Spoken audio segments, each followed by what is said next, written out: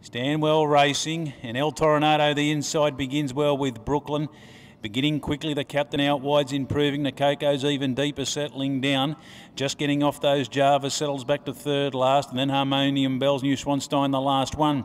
So Keen finding their order at the 900 metre mark. The captain a little bit off the fence shows out. El Toronado has the inside running in second spot, and the Coco third. It's outside fourth, Brooklyn.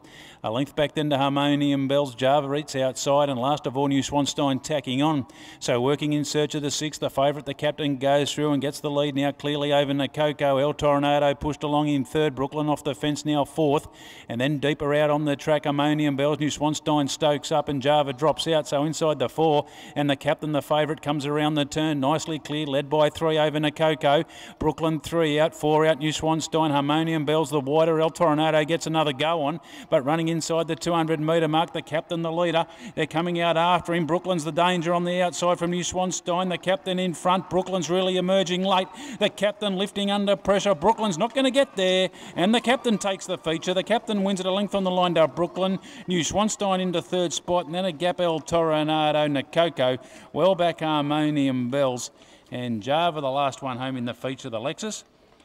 And the winner there, number six, of the favourite, the captain.